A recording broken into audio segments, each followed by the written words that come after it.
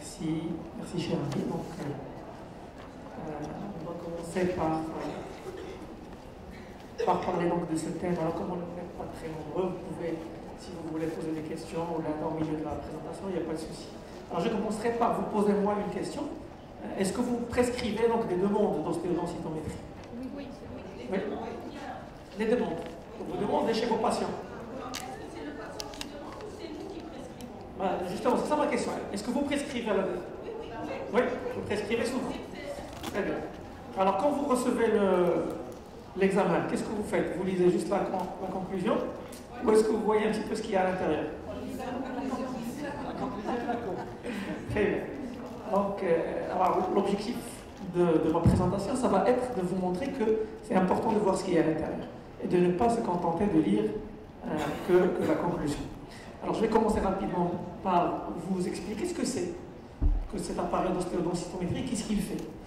Donc, en fait, le, but, c'est de mesurer la densité d'une minérale, d'une pièce osseuse, et qui va nous donner un résultat, une estimation de la quantité d'os qu'on a dans notre squelette. Euh, En quoi cet examen est important? Euh, Il est important parce que euh, il y a quelques années maintenant, déjà, moi, lorsque j'ai commencé ma rhumatologie, euh, le diagnostic d'ostéoporose était basé sur la fracture. C'est-à-dire que le jour où vous faites une fracture sur un traumatisme minime, ah, on vous dit que vous êtes ostéoporotique. La veille, vous étiez normal. D'accord? Et c'est pas possible. On ne peut pas devenir du jour au lendemain euh, ostéoporotique. Et donc, on a essayé de développer des techniques pour essayer de quantifier euh, la quantité d'os, la masse osseuse, pour dire aux gens vous, avez euh, un manque d'os dans votre squelette et vous avez donc une susceptibilité de faire des fractures. D'où le terme d'ostéoporose qui est né à ce moment-là, ce concept est, donc, né. Alors il y a eu plusieurs, dans l'évolution chronologique, il y a eu plusieurs techniques qui se sont développées.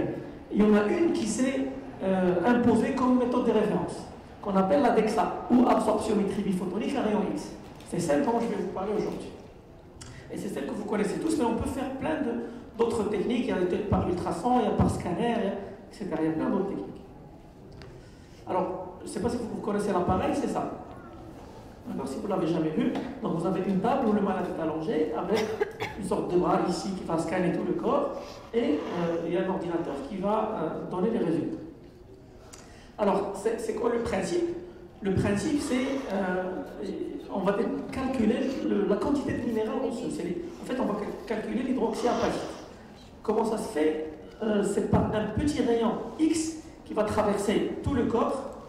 Et le détecteur donc, va, euh, lire, alors soit il y a plusieurs techniques, soit par pixel, soit par ligne, je vous passe les détails.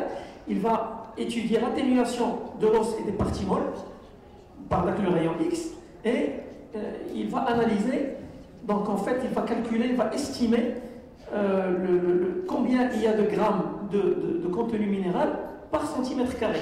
En fait, il va mesurer juste sur la surface. Ce n'est pas, pas une mesure volumétrique.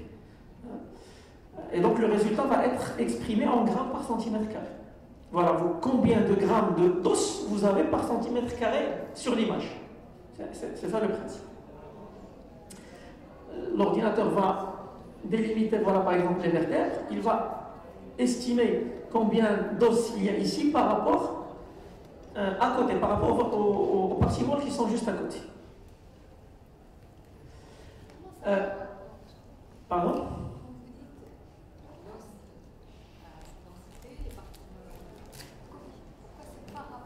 C'est pas rapport, c'est comme ça que cette- technique marche. Parce qu'en en fait, il, calcule l'atténuation du rayon euh, dans, dans les tissus. Et comme les, les par rapport aux parties molles, il y a une différence, il, fait la, différenciation. C'est une notion qui est hyper importante parce que parfois, quand il y a par exemple des gens qui ont une ostéomalacie, qui ont très très très peu de minéral dans, le, dans leur os, parfois l'ordinateur n'arrive même pas à, euh, à visualiser les vertèbres. Parce qu'il n'y a pas de contraste avec les parties molles. Donc en fait, il est basé sur le contraste avec les parties. Euh, Alors il faut savoir qu'il n'y a, pas énormément de marques de densitomètres. Euh, Il y en a quatre dans le monde qui dominent le marché. Il y en a deux euh, qui sont vraiment les leaders. Il y a General Electric et Hologic euh, qui existent au Maroc. Donc vous allez avoir des General Electric et des Hologic. C'est important de savoir ça pour une simple raison, c'est que ces deux techniques, ces deux appareils, ces deux marques utilisent des techniques différentes et c'est impossible de comparer les résultats de l'un par rapport à l'autre. D'accord? Et puis dans chaque technique, il y a des entrées de gamme, il y a des hauts de gamme. D'accord? Et comme dans tous les appareils de mesure, euh, il y a des grandes différences euh, entre, les, entre les appareils. Euh, je vais y revenir tout à l'heure parce que ça, va se poser dans la pratique de tous les jours. Les malades qui vont faire une fois dans un cabinet leur, leur densitométrie, puis ils vont faire le contrôle dans un autre cabinet, il n'y a pas de comparaison possible. Je vais vous expliquer pourquoi. Donc, c'est des technologies différentes, ils analysent des endroits différents et les résultats, par exemple, entre lunaire et logique peuvent aller entre 11% au rachis, 17% à la hanche. Comme vous savez que quand vous donnez un traitement anti-ostéoporotique, il fait bouger la densitométrie après 3 ans de traitement de 5 à 6%. Donc une différence de 11 à 17%, c'est énorme. Et ça, ça, va donner en fait des, des résultats complètement donc, euh, discordants. Donc ne jamais comparer les résultats de deux marques différentes. Et même dans la même marque, parfois on peut avoir des, différences. Ils sont plus petites, mais qui existent. Alors, les conditions d'examen, il n'y a, aucune préparation particulière, c'est rapide, ça dure 5 à, 10 minutes en général avec les nouveaux, les nouveaux appareils de dernière génération. Alors, généralement, si un malade a, pris un produit de contraste dans les jours qui précèdent, il vaut mieux éviter l'examen ou le retarder. Euh, et donc, il faut savoir que chaque fois qu'il y a quelque chose d'inhabituel qui va se projeter sur l'image, elle, peut fausser l'image. Donc les gens qui ont, par exemple, des ostéophytes, une arthrose lombaire sévère, bah, leur résultat va être faussé. Je vais vous montrer tout à l'heure, là, les syndesmophytes, les, les, les ou là, parfois, si on oublie d'enlever les, soutiens-gorge pour les femmes, euh, ça va fausser complètement l'examen. Et même les, les, justement, quand il y a trop de matière grasse, euh, l'image est généralement un peu faussée. D'ailleurs, le poids maximal autorisé est de 136 kg pour, euh, pour faire l'examen. Il faut savoir que les animaux n'interfèrent pas du tout, donc on peut manger ce qu'on veut, il n'y a pas de souci. Alors, je vais vous parler des, quatre performances des appareils. Et d'abord, les radiations. Ça, c'est quelque chose de très important. Euh, c'est un, appareil qui n'irradie pas du tout. Il n'y a aucune mesure de radioprotection à avoir. Bon, malgré ça, au Maroc, euh, seuls les radiologues peuvent le faire dans leur cabinet pour une raison simple, c'est que dans le titre, il y a absorption métrique photonique à rayon X. Et dès qu'il y a le mot rayon X, euh, il y a la législation qui impose que ce soit les radiologues. Ce qui est une aberration complète. Parce que la densitométrie n'est pas un examen d'imagerie. Donc si vous avez suivi ce que j'ai dit depuis le début, c'est plutôt un examen biochimique. C'est on mesure une quantité d'os présente dans le corps. C'est une mesure plutôt qui s'apparente aux examens biochimiques. C'est pas du tout de l'imagerie. Alors Alors, on préfère ne pas le faire, mais si la femme enceinte le fait, il n'y a pas de souci. Il n'y a pas de souci. Regardez, l'irradiation est entre 1 à 4 microsieverts. Microsieverts, c'est avec ça qu'on mesure le rayonnement. Alors, la radiation naturelle est de 7 microsieverts. Si vous prenez un, vol entre Kazan et New York, vous recevez 60 microsieverts dans les rayons cosmiques. Une radio pulmonaire, c'est entre 50 et 300 microsieverts. Donc, il n'y a, pas besoin de radioprotection dans, dans, la, salle d'examen. Alors, la précision, c'est d'un examen, c'est comme les, examens biochimiques, c'est en fait quelle est la capacité d'un examen à mesurer réellement ce qu'il est censé, mesurer. Euh, et ça, euh, on le fait, alors ça c'est normalement chaque euh, possesseur d'appareil doit faire ça, il doit mesurer un fondant tous les jours par exemple, on sait que là, il y a un gramme d'hydroxyapatite, il faut que l'appareil dise que c'est un gramme. Là, on est sûr que l'appareil mesure réellement ce qu'il est censé mesurer. Il y a aussi l'assurance qualité, c'est-à-dire ce qui fait la reproductibilité. Ça, on le fait tous les jours. Par exemple, nous, on a l'ostéocytomètre dans le service. Tous les jours, euh, la technicienne, dès qu'elle allume l'appareil, elle euh, refait le contrôle qualité pour s'assurer que l'appareil euh, reproduit exactement la même mesure. C'est une sorte d'étalonnage.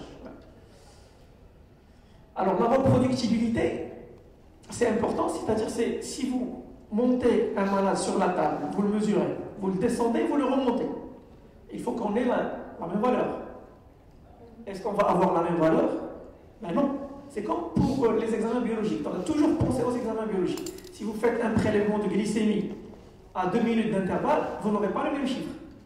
Vous aurez une petite différence que les biologistes euh, estiment par des plaintes de technique, par ce qu'on appelle le coefficient de variation. Euh, il ne doit pas être énorme, sinon ça veut dire que la technique est complètement mauvaise. Généralement, c'est une histoire de 0,0 quelque chose de différence. Alors, pour la densitométrie, c'est pareil. Donc, on, calcule les coefficients de variation. Normalement, chaque centre devrait le calculer pour. Les gens ne le font pas. Mais vous, il faut que vous sachiez qu'il y a une petite. Euh, on avait fait une étude qu'on avait publiée sur. Euh, alors, ça, c'est le zéro. Normalement, la différence entre les deux examens doit être zéro. Et vous voyez qu'elle n'est pas de zéro. Elle est de, entre 0,04 et 0,04 plus ou moins 0,04 de différence, par exemple, en rachis Donc il y a des petites variations. Ici, ça prend toute son ampleur parce que si vous demandez un examen à refaire chez un malade, ce qu'on fait en pratique, si vous voyez quelqu'un qui de l'ostéoporose, ou, même il y a plein de femmes qui, adorent se remesurer la densitométrie tous les deux ans ou, chaque année parfois. Je vois ça. Il faut savoir qu'il euh, y a déjà une différence due à l'erreur de mesure, tout simplement. Et que cette erreur, cette, erreur de mesure, elle est quand même importante. Elle est de 0,04 g par centimètre carré au rachis, et euh, c'est quelque chose qu'il va falloir prendre en compte quand on refait les mesures. Ça, je vais y revenir tout à l'heure, je vais en reparler. Alors, c'est quoi l'ostéoporose? Donc ça, vous le savez tous, la définition de l'OMS, c'est ça. C'est en fait quand on a un peu moins d'os dans son squelette, et euh, du coup, euh, on est plus susceptible de se fracturer si on fait une, chute, par exemple. C'est ça l'ostéoporose. Donc c'est une maladie diffuse du squelette. Je vous l'ai dit tout à l'heure, avant on attendait la fracture pour dire qu'on est ostéoporotique. Maintenant, grâce à cet examen-là, on peut dire aux gens qu'ils ont euh, une ostéoporose densitométrique, c'est-à-dire qu'ils sont susceptibles de faire une fracture si on ne les traite pas. S'ils tombent, s'ils font une chute minime, par exemple. Euh, ceci dit, ne jamais oublier que la densitométrie ne mesure qu'une seule part de, du risque, qui est la quantité d'os. Parce que la fracture, elle est due à la quantité d'os qu'on a, à la qualité de l'os qu'on a, mais aussi parce qu'on tombe, on tombe pour plusieurs raisons, le type de chute, etc. Donc il y a plusieurs raisons qui font que quelqu'un va faire une fracture. La densitométrie va estimer juste ça. C'était votre quantité d'os, en fait, présent dans le squelette. Alors, on fait toujours l'analogie pour comprendre ce que c'est avec, par exemple, les pathologies cardiovasculaires. L'hypertension artérielle, est-ce que c'est une maladie? C'est plutôt un facteur de risque. Les gens sont asymptomatiques, on leur mesure la tension artérielle, et si elle est élevée à, euh, supérieure à un certain seuil qu'on a estimé par les mesures épidémiologiques, euh, on dit que les gens sont à risque de faire des AVC, de faire et donc on traite ce facteur de risque pour diminuer le risque de faire des AVC. C'est exactement le même raisonnement ici. Donc ici, on, va voir les, gens qui ont une quantité osseuse diminuée et on va les traiter pour qu'ils évitent la complication qui est la fracture, qui est l'équivalent de l'AVC. Et on fait la même chose pour le cholestérol et l'infarctus du myocarde ou, pour le, diabète. Les gens peuvent être complètement asymptomatiques, hein, mais on sait qu'à partir d'un certain seuil, à partir de 1,26 g, vous êtes à risque de faire des complications de, dégénération du diabète, etc. C'est pour ça qu'on traite à partir de ces seuils-là. Donc c'est à peu près la même chose. Alors, ça c'est un, graphique qui vous montre la relation entre cholestérol par exemple et infarctus du myocarde, plus le, cholestérol est élevé, plus le risque de faire un infarctus est élevé. Alors, la même chose, plus la densitométrie est basse, plus votre risque de faire une fracture est élevé. Et même, vous regardez la relation entre densitométrie et fracture est beaucoup plus élevée que la relation entre cholestérol et infarctus du myocarde. Donc, c'est un bon reflet du risque. C'est ça ce qu'il faut garder comme c'est exactement le même principe que ce qu'on fait avec le cholestérol ou avec la glycémie ou avec la tension artérielle. Alors, généralement, on mesure au moins deux sites. On a choisi la hanche et le rachis lombaire. Pourquoi? Parce que c'est les sites de fracture les plus fréquents. Les fractures ostéoporotiques les plus fréquentes, c'est le rachis et c'est la hanche. C'est les fractures les plus graves. Donc on mesure le, rachis comme ça, c'est ça la position du patient. Pour les hanches, c'est les, euh, les, jambes tendues. Et donc, euh, l'appareil va vous donner ça. Vous voyez l'image un petit peu qui est. Euh, donc, l'ordinateur repère les, contours des vertèbres. il faut regarder cette image-là, on va, y revenir tout à l'heure. Une fois que la densitométrie est mesurée, donc il va être mesuré en grammes par centimètre carré dans chaque vertèbre, puis l'appareil fait des moyennes. Vous, avez ici la densitométrie de L1, L2, L3, L4, et puis les moyennes des différentes entre L1, L3, L1, L4, etc. Et puis voici le patient qui est projeté sur la courbe de référence. Je vais essayer de revenir sur ça pour vous expliquer comment ça se passe. Alors la hanche, c'est pareil. Donc il y a des appareils qui, étudient les deux hanches. Il y a des appareils qui n'étudient qu'une seule hanche. Généralement, les plus fréquents dans le commerce, c'est plutôt les entrées de gamme. Les gens n'achètent pas, n'investissent pas des, des sommes énormes. Parce que le prix d'un appareil de, de, DEXA, il varie d'environ 300 000 dirhams pour entrée de gamme jusqu'à 1,5 million, 2 millions de dirhams. Personne n'achète les appareils à 1 million de dirhams. Alors tout le monde achète les, gamme qui sont un petit peu de performance moyenne. Les seuls appareils euh, haut de gamme sont dans les CHU.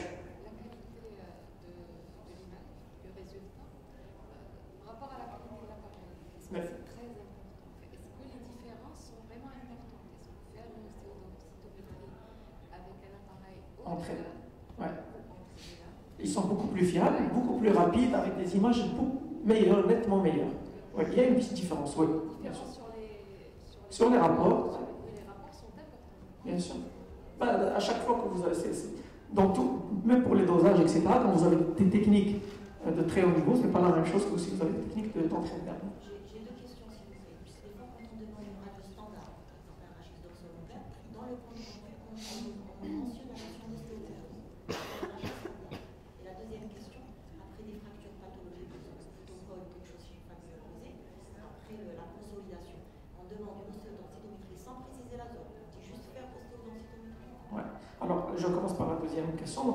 Donc, si vous demandez juste ostéodensitométrie, on doit vous faire obligatoirement rachis lombaire et hanche. Généralement, si un des sites n'est pas exploitable, on peut mesurer aussi le poignet. Je vais y revenir après. Mais c'est moins fiable le poignet. Le plus important, c'est le rachis et la hanche.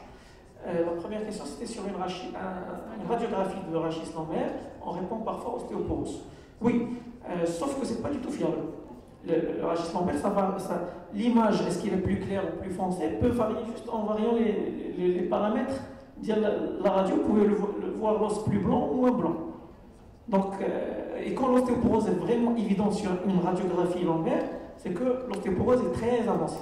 Les, stades de début de perte osseuse ne se voient pas à la radio. Il faut complètement. Ouais, je, je, vais y revenir tout à l'heure dans les indications. Allez-y peut dire des Oui, oui, je dis, allez-y.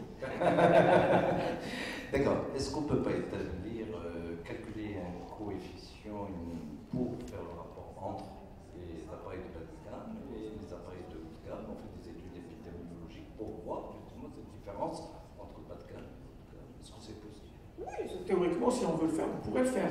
Mais est-ce que c'est important? De toute façon, même les, entrées de gamme, c'est je prendrai un autre exemple, c'est comme à l'échographie. Vous avez des appareils euh, chinois à 100 000 dirhams et vous avez des appareils qui font 1,5 million de dirhams.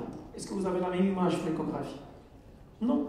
Donc euh, c'est à peu près la même chose. C'est-à-dire que les, appareils haut de gamme sont un peu plus performants, ils sont plus rapides, plus faciles à utiliser, etc. Mais pour les résultats, c'est bon. Bon, c'est des résultats acceptables qui ont été quand même un peu validés. Donc on, peut, on, va dire qu'on peut les accepter, il n'y a pas de souci. Mais euh, alors, mais c'est important de regarder aussi la marque où, est-ce que ça a été Et parfois de, voilà, de, vérifier que l'image, rien que la qualité de l'image ici que, qu'on va vous remettre, peut vous donner une idée sur la qualité de l'appareil. Il y a des appareils où vous voyez tout, tout, complètement flou et on a l'impression que l'ordinateur n'arrive même pas à, à délimiter les, contours osseux. Ça, c'est l'expérience. Pour nous, c'est toujours flou comme image. non, mais là, vous arrivez à voir les, alors les appareils haut de gamme, euh, il y a des appareils beaucoup mieux que celui-là, vous avez une qualité presque radiologique de l'image. Les, appareils vraiment haut de gamme, vous avez l'impression de voir une radio ici. Parce qu'en fait, on nous a toujours dit qu'il euh, faut faire attention faire une stométrie, choisir l'appareil, choisir le cabinet, choisir l'appareil hmm. qui va faire, parce que les résultats sont toujours fiables. C'est-à-dire qu'il y a une grande sensibilité. Il y a une sensibilité, bien sûr. Voilà, il y a une sensibilité. Il, y a des, il, y a des, il y a des appareils qui il faut, leur truc ne vaut rien. Ouais. Je, je, peux vous dire comme ça. Oui, au, moins, au moins moyenne gamme, oui. Parce qu'il y a des, des appareils euh, entrée de gamme où le, résultat ne sont pas bons du tout. Alors le poignet peut être mesuré aussi, mais euh, voilà, les, les résultats sont moins validés dans les études épidémiologiques. Mais ça peut aider dans certains cas. Euh, Vous savez qu'on peut mesurer le corps entier avec cet appareil-là. Donc, euh, ça, sert, bon, pas pour la densitométrie, ça sert par exemple dans l'é- l'évaluation de la masse, musculaire et la masse grasse. Euh, Dans les suivis nutritionnels, euh, les- gens qui veulent maigrir, ou les maladies qui, qui, qui entraînent des cachexie, etc. La méthode de référence pour mesurer la composition corporelle, combien il y a de gras, combien il y a de muscles, c'est le même appareil. Donc là, il mesure la densitométrie. Dans la même mesure, il peut vous donner région par région combien il y a de gras, combien il y a de, de muscles, combien. Euh, euh, De façon régionale. Alors, il y a une autre chose que cet appareil peut faire. Il peut faire une évaluation des structures vertébrales. Alors, pas tous les appareils font ça, donc il faut acheter le logiciel. Donc, nous, par exemple, on l'a à l'hôpital.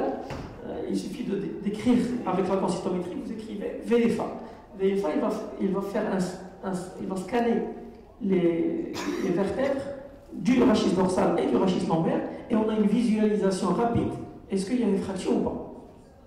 D'accord Ça peut être aussi euh, utile. C'est beaucoup moins irradiant que faire des radios du rachis dorsal et du rachis lombaire de profil. Est-ce qu'on peut faire ça de manière systématique, c'est-à-dire pour euh, euh, demander juste la densitométrie avec ce score Vous pouvez le demander si vous voulez. Euh, je vais revenir tout à l'heure sur les indications. Euh, la principale indication, si c'est c'est par exemple les, les- les femmes âgées qui perdent de la taille.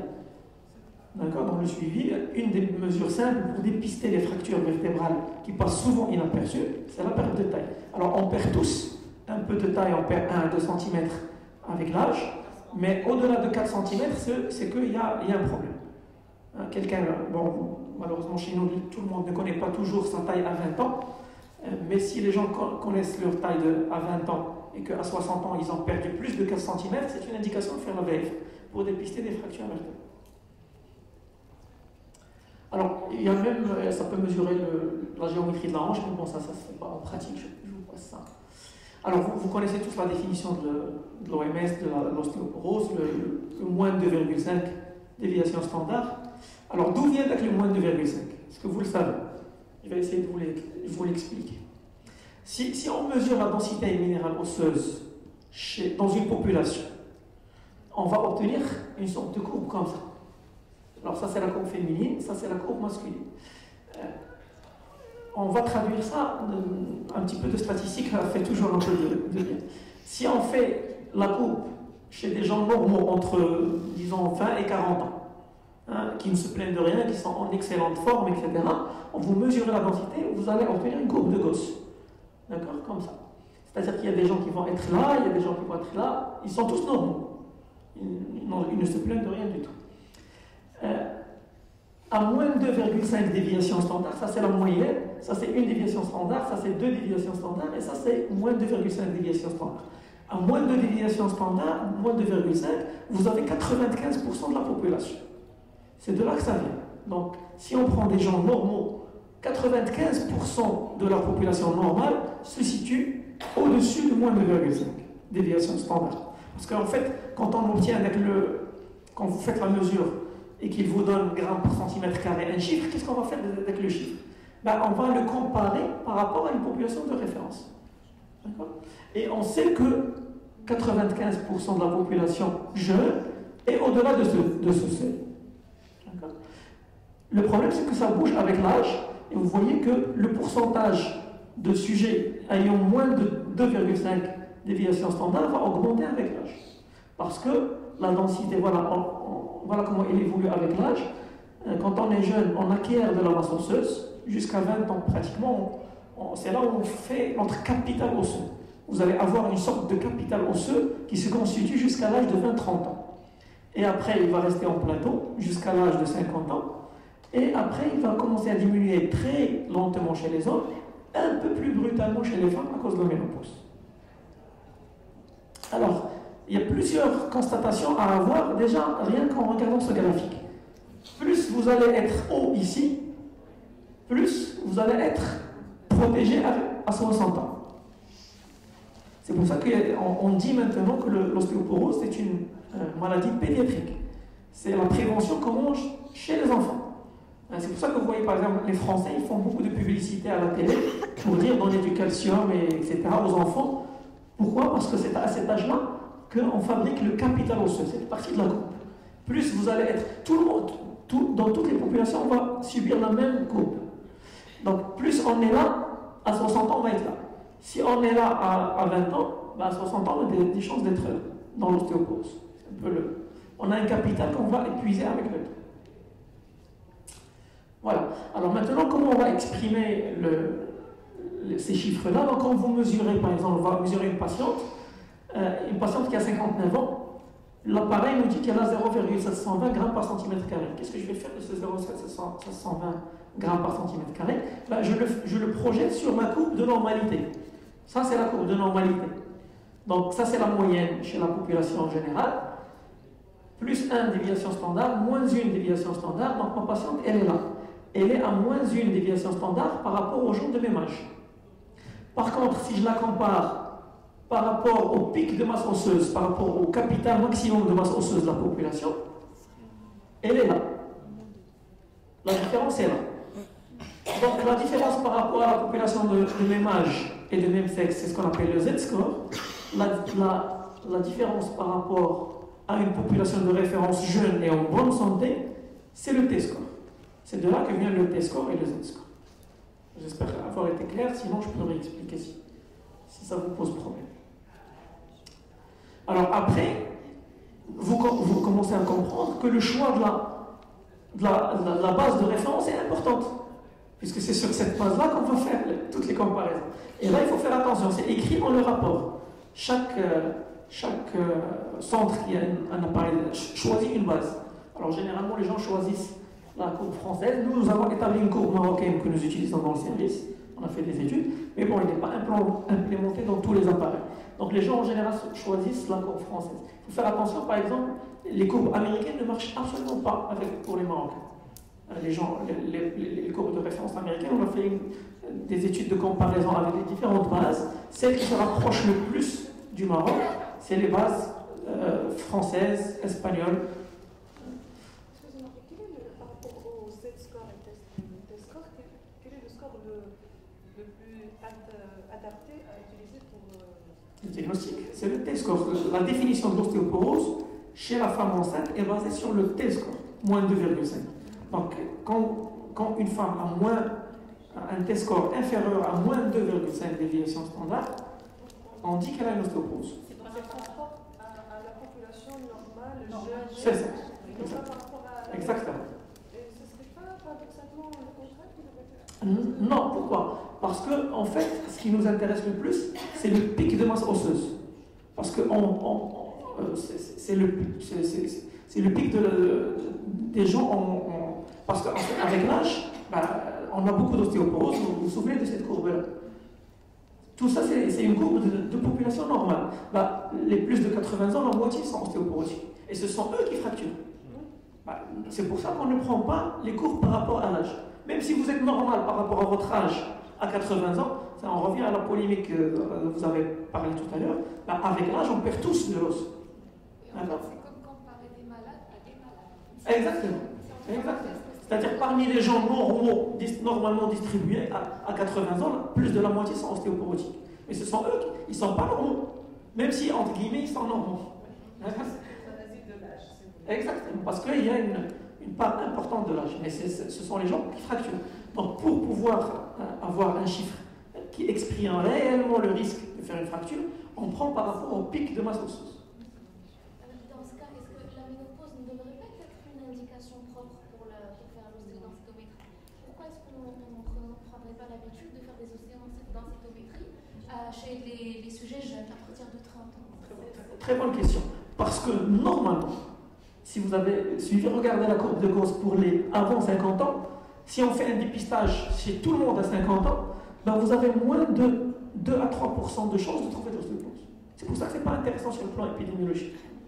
On va y revenir tout à l'heure. Par contre, si on fait un dépistage à 65 ans, vous avez 20% qui sont ostéoporotiques. Là, ça vaut le coup. Et c'est pour ça qu'on a choisi le chiffre 65. Je sais pas très bien. euh, On n'avait pas très bien compris. En fait, fait, je rejoins sa question parce que si on part, euh, que euh, l'ostéoporose, on va se dire que euh, ça commence à, agir. Alors à l'âge de 50 ans, on ne va rien trouver. Ce n'est qu'après l'effet de, de, de la ménopause, donc vers 60 ans, 65 ans, qu'on aura euh, l'ostéoporose. Mais ça dépend aussi, parce que si on part euh, de, que c'est une pathologie de l'enfance, pédiatrique, alors ça dépend de la masse osseuse qu'on avait avant. Ah, On va distinguer deux choses. Euh, les indications médicales que les sociétés recommandent et ce que vous allez faire individuellement. Là, on parle de dépistage de masse, c'est-à-dire tout venant. Les gens qui ne se plaignent de rien du tout, quand est-ce qu'on va dépister? Bah, Épidémiologiquement parlant, à 65 ans, ça vaut le coup de le faire. Parce qu'il y a 20% de la population qui sont ostéoporotiques, même s'ils ne se plaignent de rien du tout. Alors qu'à 50 ans, si vous le faites, vous, c'est très petite proportion, 2% ou 3% qui ont de l'ostéoporose. Mais sur le plan pratique, devant vos malades à vous, euh, s'il y a des facteurs de risque, une ménopause précoce, euh, une maladie qui prédispose euh, à, à l'ostéoporose, une prise de corticoïdes, etc., vous pouvez le faire même avant 50 ans. Alors, il va- on va y revenir dans, le- dans les indications. Là, on parle de dépistage de masse chez des gens qui ne se plaignent de rien. C'est-à-dire, ce serait, sur le plan individuel, de masse, ce serait bien de connaître ça, son capital aussi. C'est un luxe, pourquoi pas. ouais. Pour que on puisse, voilà. Ouais, prévoir, ouais, pourquoi pas. Ouais. Mais c'est euh, qu'on peut se permettre si vous voulez. Ne vous demandez pas à l'habitude de le rembourser. Justement, le remboursement est basé sur ces chiffres-là. C'est pour ça qu'à 65 ans, on va rien vous dire. Mais à 30 ans, sauf si vous avez une vraie indication médicale. Pourtant, ça devrait se faire, ne serait-ce que dans le cadre préventif. Pourquoi pas, euh, même les assurances devraient. euh, Euh, non, ça ça devient plus compliqué. Alors voilà à quoi ressemble le, rapport. Donc le rapport, il vous donne ici l'identité, etc., le poids, la taille. Il y a l'image d'IL le, rachis, l'image d'IL les hanches, la, projection du malade sur la courbe, comme je vous ai montré tout à l'heure, alors le petit point noir, c'est le malade, et vous avez la courbe. Alors on a même facilité, vous voyez la courbe qui est normale avec une déviation standard, plus, plus ou moins une déviation standard, et on a mis en vert et en jaune et en rouge. Rouge, c'est la zone ostéoporose. Jaune, c'est la zone ostéopénie, c'est-à-dire moins une déviation standard. Et vert, c'est la zone normale. Donc, pour, faciliter la lecture de, l'examen. Ça, c'est pour le rachis, ça, c'est pour la. Et ici, vous avez les chiffres, donc euh, par région, par ZTESCO, etc. Et généralement, la courbe de référence est écrite ici. Si vous lisez, alors par exemple, ça, c'est notre service, on a écrit population de référence marocaine. C'est là où vous allez voir quelle, quelle est la population de référence que le, centre a utilisée. Alors, les indications, on revient à ce qu'on a dit tout à l'heure. Donc, épidémiologiquement parlant, là je vous parle en tant que médecin, chez qui faut-il demander la densitométrie de façon systématique? Bah, Ça vaut le coup à 65 ans chez les femmes et à 70 ans chez les hommes. Parce que là, il y a une forte probabilité, enfin, il y a une probabilité assez élevée, de 20 à 20% environ, voire plus, de trouver des gens ostéoporotiques alors qu'ils se plaignent de rien du tout. Mais on peut la demander plus tôt quand il y a des facteurs de risque ou quand il y a des, anomalies. Par exemple, la, question qui a été posée tout à l'heure par madame sur l'aspect déminéralisé du rachis lombaire. Si vous avez un aspect euh, déminéralisé, ça vaut le coup d'aller quantifier ça. Ou là, des gens qui ont, qui ont fait une fracture vertébrale, une déformation vertébrale, on se dit, voilà, là, ça vaut le coup d'aller chercher. Euh, un antécédent de fracture. Normalement, après une fracture, surtout si à l'interrogatoire, les, gens vous disent Bon, j'ai glissé chez moi et je me suis fracturé euh, la cheville ou la main, etc., bah, il faut faire une densitométrie. Et puis, quand il y a des facteurs de risque forts, donc euh, par exemple la ménopause précoce, c'est- une indication. Euh, Les, gens qui ont une aménorrhée secondaire, un hypogonadisme primitif, il y a une part de génétique importante dans l'ostéoporose. Si la patiente a sa maman qui a fait une fracture de hanche, c'est aussi une indication. Et puis dans le cadre de- d'autres maladies, euh, syndrome de malabsorption, anorexie mentale, maladie cœliaque, etc., il y a plein de maladies qui prédisposent à la perte osseuse. Et évidemment, les corticoïdes. La corticothérapie au long cours, normalement, avant chaque corticothérapie au long cours, c'est une indication formelle de mesurer la densité minérale osseuse, Quel que soit l'âge. quel que soit l'âge. Oui, pour voir l'évolution. Ouais. Bien sûr, pour avoir un document sur la perte osseuse. Même pour les enfants. Normalement, même pour les enfants. Pour les enfants, je ne vais pas rentrer dans le détail, mais c'est un peu plus compliqué. Il n'y a pas vraiment de vraie courbe pour les enfants. La, la meilleure manière de faire, c'est de suivre l'enfant par rapport à lui-même. Surtout, si, par exemple, s'il y a une maladie qui nécessite une corticothérapie euh, à forte dose pendant des années, il vaut mieux avoir un chiffre de référence et faire des, euh, des suivis euh, pour voir la, estimer la perte osseuse. Alors pour la composition corporelle, c'est plus utilisé par les endocrinos, les nutritionnistes, les néphros pour évaluer la, euh, la masse grasse et la masse maigre. Maintenant même, les oncologies, l'oncologie médicale commence à, L'oncologie aussi, à ouais. demander directement parce qu'ils font des hormonothérapies de longue durée. Ouais. Donc nous, on voit déjà un résultat déjà demandé par un autre confrère. Oui. Euh, à quel intervalle il faut, il faut redemander cette ostéopathie Très bonne question, je vais y revenir d'ici quelque peu. L'hypovitamine, il y a la vitamine D. Voilà. S'il y avait un- Est-ce qu'on peut demander de- des, des sujets qui sont jeunes, Oui. avec des douleurs osseuses et avec des hypovitamines, la, la vitamine D, est-ce qu'on peut demander? Alors, ça, c'est le- ça sort de- du cadre d'aujourd'hui. Je vais parler de la vitamine D tout à l'heure à la conférence à 2 heures. Et je vais, je vais vous raconter qu'on en fait beaucoup trop avec la vitamine D. On la rend responsable de choses dont elle n'est absolument pas responsable. La vitamine D, en pratique, elle donne deux maladies. Le rachitisme chez l'enfant, l'ostéomalacie chez la femme. Ça, c'est ce qui est vraiment démontré. Tout le reste, tout le reste, c'est de la spéculation, il n'y a rien. Hein, donc, euh, euh, je vais revenir un peu en détail tout à l'heure. C'est sûr que la vitamine D, c'est une hormone importante et, qu'elle est nécessaire au bon fonctionnement du corps. Ça, c'est sûr. Mais est-ce que l'hypovitaminose D entraîne tout ce qu'on voudrait lui faire entraîner? La réponse est réponse est non. Parce qu'on a un problème avec. Parce qu'on euh, on, on la demande à l'examen biologique. On recherche vitamine D totale par exemple. Mais on- on- il se trouve que euh, les Marocains sont déficients. Bien qu'on a un pays. Pas que les Marocains, c'est partout dans le monde. Partout on dans a le monde. un pays, comme pays agricole, on a une alimentation assez variée, on est un pays. Non, non, non, l'alimentation alors apporte très peu. Là, je, je suis en train de déborder sur mon propos d'après-midi. La- la- L'alimentation apporte très peu, on ne compte pas dessus, de vitamine D. C'est pour ça que les pays riches, maintenant, euh, ils ont imposé aux, industriels de rajouter de la vitamine D un peu partout. Dans le lait, dans la farine, dans le- l'huile, etc. Euh, Sur le plan épidémiologique, c'est beaucoup plus rentable. Euh, la, la vraie source de vitamine D, c'est le soleil. Mais on ne fabrique pas tous de la même manière la vitamine D, pour différentes raisons, génétique, couleur de peau, euh, climat, etc. Tout ça intervient. Je vais revenir en détail dans l'après-midi, donc là je, passe sur... euh, alors, où est-ce qu'on était? On était là. Euh, alors, les erreurs euh, de densitométrie peuvent être euh, catastrophiques. Parce que, alors, deux erreurs essentielles, c'est qu'il y a des gens qui n'ont rien du tout. On va leur coller une maladie qui va leur imposer un traitement pendant plusieurs années à suivre, qui est potentiellement toxique. C'est une situation que je vois beaucoup. Euh, des gens qui n'ont pas d'ostéoporose du tout, qui n'ont pas de problème, on leur colle un bisphosphonate pendant 4-5 ans. Ça, c'est la première situation. Deuxième situation aussi, c'est l'inverse. Que vous avez des vrais malades qui ont une vraie ostéoporose sévère, qui ont fait des fractures et qui ne sont pas traités. Donc, c'est pour ça que c'est important de savoir interpréter la, la densitométrie.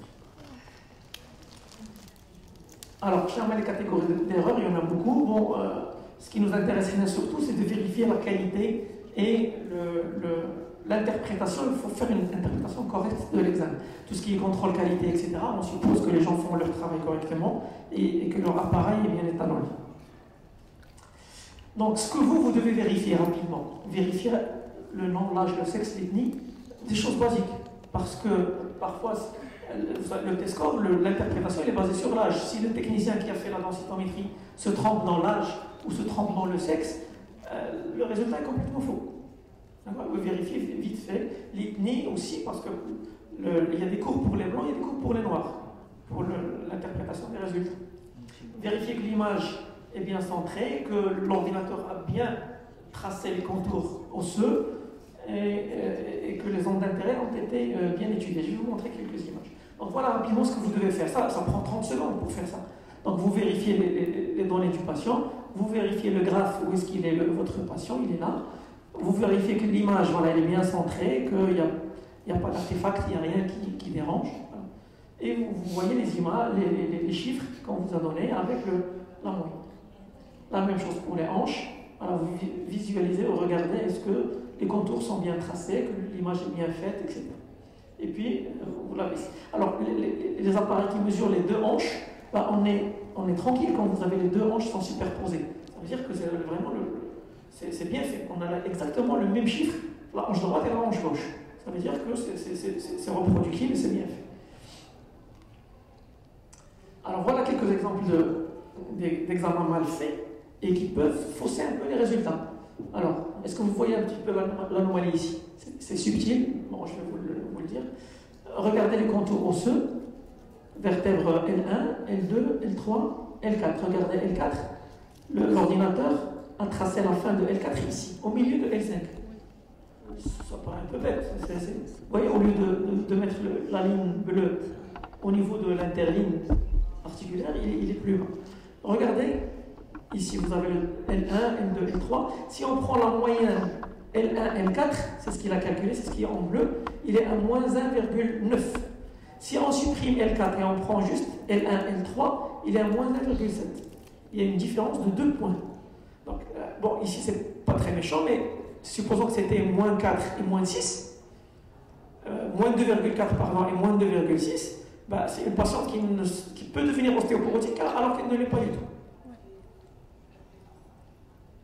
Alors quand il y a par exemple là, il a oublié de enlever le pantalon, il y a un gros bouton qui se superpose, il va fausser le résultat.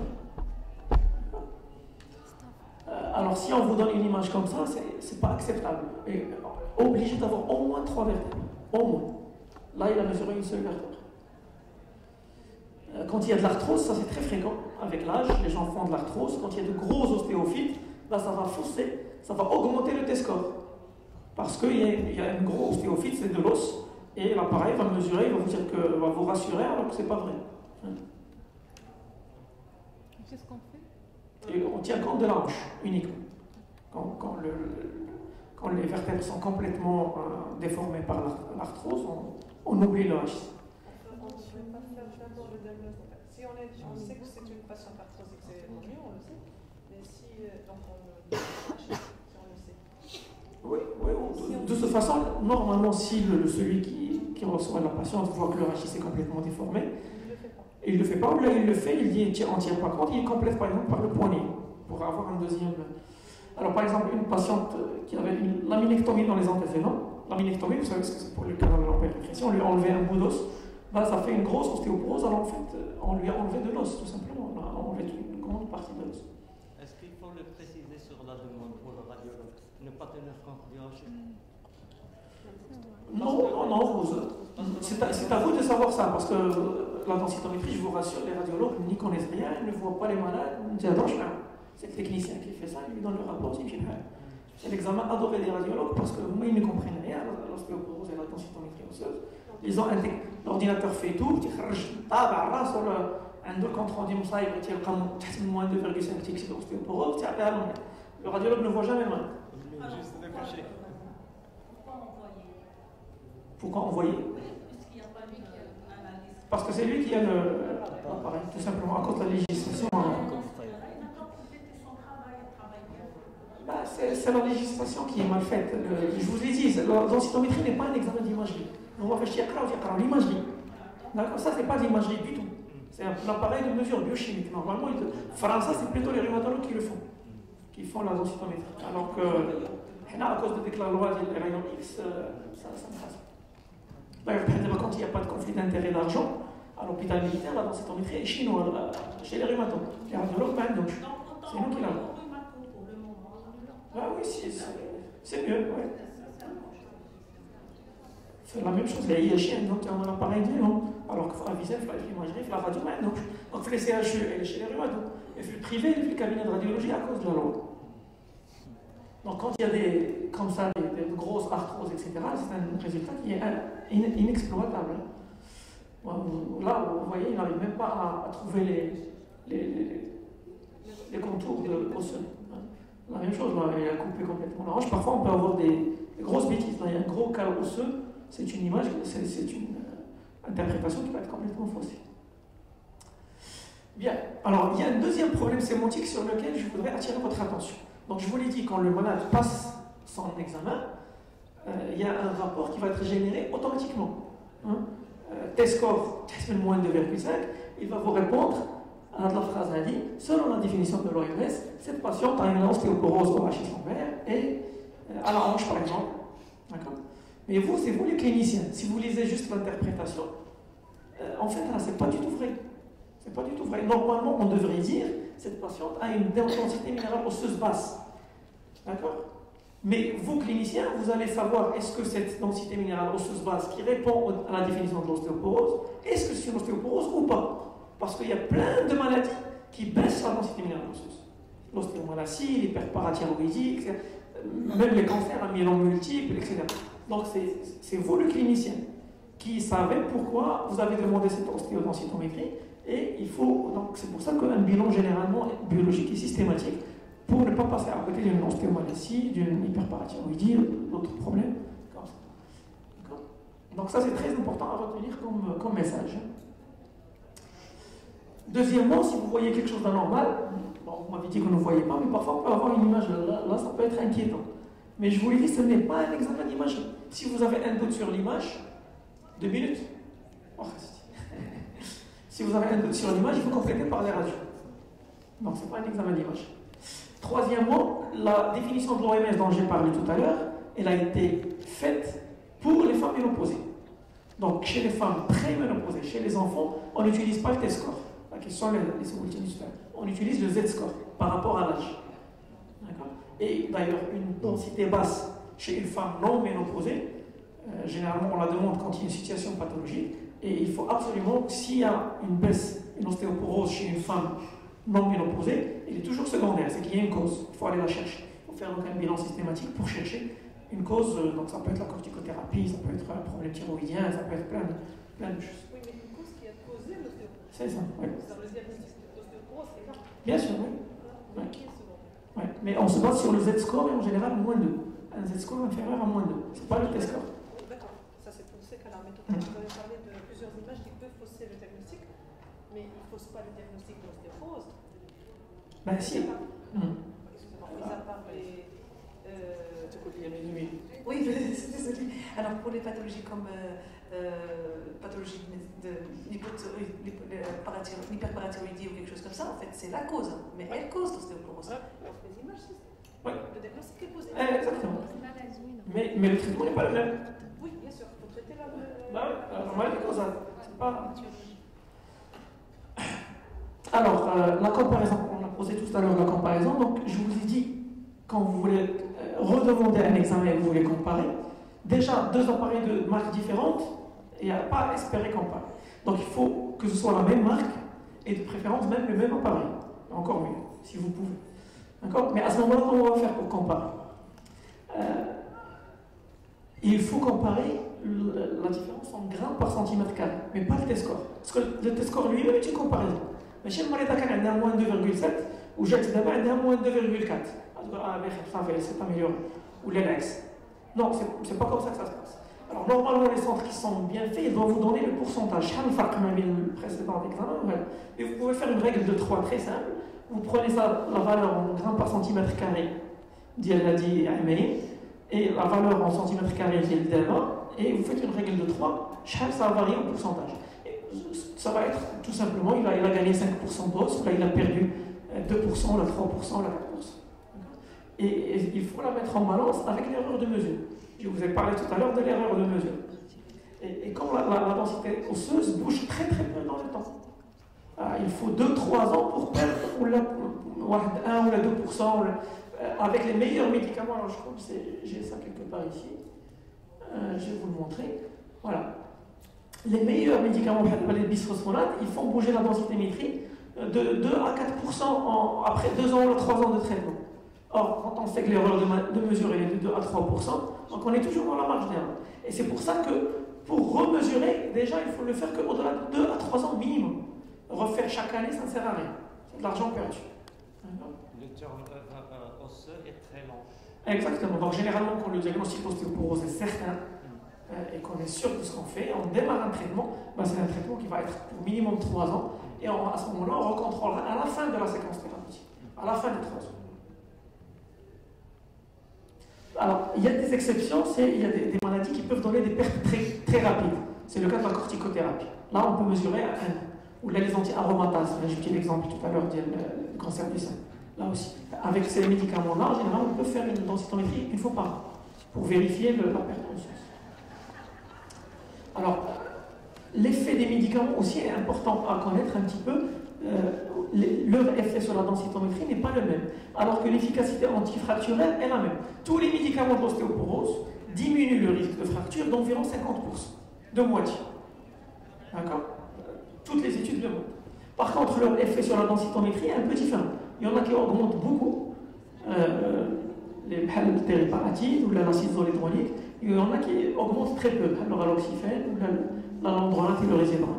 D'accord Alors que l'effet antifracturel est pratiquement le même. Alors parfois on peut avoir des discordances, donc je vous ai montré, il y a des gens qui peuvent être ostéoporotiques au rachis, c'est normal à l'ange, ou l'inverse. Alors qu'est-ce qu'on va faire? Généralement on prend la valeur la plus basse, euh, c'est important, et surtout vérifier les artefacts dont on a parlé tout à l'heure. L'examen est bien fait, qu'il n'y a pas quelque chose qui se superpose, ou là qui fausse le, résultat. Voilà, donc euh, terminé. Alors, donc, c'est important de savoir interpréter la densitométrie, de regarder l'image, de vérifier que l'image est bien faite, parce que euh, les conséquences peuvent être quand même assez euh, catastrophiques pour des gens. Il y a des malades euh, qui ne sont pas traités, il y a des gens normaux qui n'ont rien du tout et à qui on colle des médicaments qui coûtent cher, potentiellement toxiques pendant plusieurs années. Euh, ouais. Euh, tous les médicaments ont des effets secondaires. Donc, si on prend les bisophonates, qui sont les plus prescrits, euh, ils peuvent avoir des effets secondaires. Euh, ceux qu'on prend par voie orale peuvent donner des œsophagites parfois ou des, problèmes gastriques. Ceux qu'on donne par voie veineuse, ils peuvent avoir des effets graves sur le rein, par exemple. Et, il y en a qui font des uvéites bah, post-bisophonate. Il, il y a quelques effets secondaires. Donc, ce pas des médicaments anodins. Et on les prend pendant très longtemps, donc euh, c'est cher, euh, c'est embêtant. Donc, euh, il faut vraiment que les gens aient l'indication de, de donner ce genre de médicaments. Si, si tous les traitements sont pareils en matière de réduction de risque de fracture, qui est d'ailleurs notre but, parce qu'une fois qu'elle est ostéoporosique, alors pourquoi euh, le changement de densité sur l'os, pourquoi nous intéresserait après pour contrôler? C'est une excellente question, mais c'est important, parce qu'il vaut toujours mieux, après un traitement, gagner de l'os qu'en perdre. Euh, Parce qu'il y a, pour les bisophonates par voie orale, euh, il, y a un, euh, grand problème dans le suivi des malades qui sont, euh, qui, ont- qui sont ostéoporotiques. Parce que quand vous suivez un hypertendu ou un diabétique, c'est facile. Vous mesurez sa tension, vous ajustez. Vous mesurez sa glycémie, vous ajustez. L'ostéoporose, il n'y a rien à mesurer. Donc il y a, on n'a que ça pour savoir que le médicament est efficace ou pas. Et donc, on, mesure après trois ans, par exemple, pour voir qu'il a quand même gagné de l'os et qu'il y a un effet. Euh, D'autant plus que l'hypsosoin minimum. Ça ne sert à rien de donner moins que ça. Euh, en moins trois ans, ça peut, être- plus. On on n'a pas de main assez ra- euh, très rapide pour demander une ostéodensitométrie. Mais à supposer que, euh, euh, que, le, que le résultat euh, parle d'os- euh, d'ostéopénie et que notre phosphocalcique euh, parathyroïde, vitamine D total, le bilan biologique assez rapide, il est correct. Euh, peut- Laissez tranquille, il n'est pas malade. Ostéo- ostéo- L'ostéopénie n'est pas une maladie. D'ailleurs, on, cherche maintenant, un peu partout dans le monde, à supprimer gars du vocabulaire. L'ostéopénie, ça fait peur aux gens. Ce n'est pas une maladie, c'est juste que vous avez, si vous avez bien suivi ce qu'on a dit tout à l'heure, vous avez une masse un peu plus euh, moindre que la normale, c'est tout. Mais vous êtes normal, il n'y a rien de. Des petites douleurs en hiver, euh, juste isolées pendant la saison froide, c'est tout ce qu'on trouve comme. euh, Oui, mais ça, c'est pas, pas l'ostéoporose. Il faut chercher autre chose. L'ostéoporose, en principe, n'est pas douloureuse que quand il y a des fractures, justement vertébrales ou médicamentées, euh,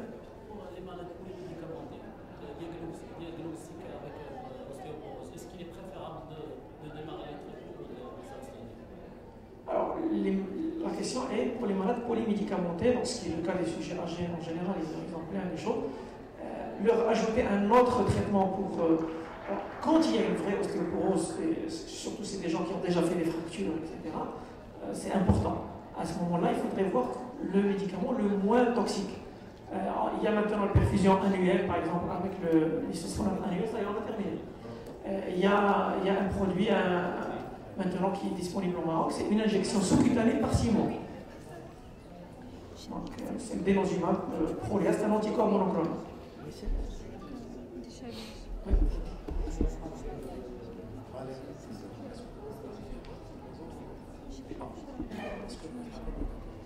Si- si- S'il n'y a pas de gain en masse osseuse, bah, il faut se poser la question. Peut-être que le malade ne. ne- alors, c'est ce que je voulais dire tout à l'heure avec les, les, les par voie orale, l'absorption est très minime. Si les gens ne respectent pas les modalités de prise, rien ne passe.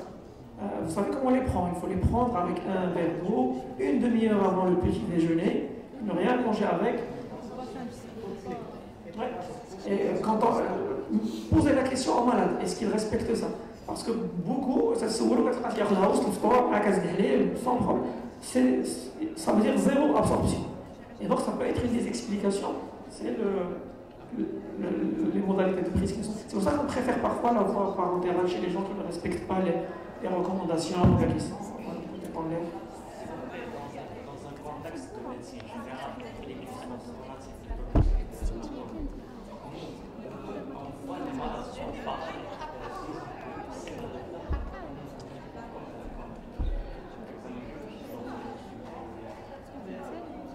Bien. Euh, de temps en temps, bilan phosphocalcique, euh, être sûr que la- leur vitamine D est correcte, c'est tout. Mais de temps en temps, une fois par an ou là, pas plus. L'ostéoporose n'est pas une, euh, une maladie euh, spécifiquement rhumatologique. Il y a beaucoup de généralistes aussi qui prescrivent. Juste euh, voilà, connaître un peu tout ça pour, les éléments de traitement. ça. Moi, je voudrais faire une remarque d'un autre ordre quand on voit tous les sujets qu'on traite et tout ça, les sujets euh, médicaux, hein, Mm. les sujets patients. Et je pense qu'il y a beaucoup de recommandations et des choses, des informations qu'on devrait avoir a priori parce qu'on ne sait pas quelle sera l'évolution de nos patients. On voit toutes les pathologies, l'évolution avec l'âge. Moi, je pense qu'il faut insister euh, beaucoup et toujours sur un dossier médical que tous les médecins utilisent. À partir de ces données de base, on pourrait instinctivement penser à des choses parce qu'on ne peut pas penser à toutes les pathologies qui existent. Il est très important utilisent un dossier médical systématiquement pour chaque patient et un dossier qui soit complet.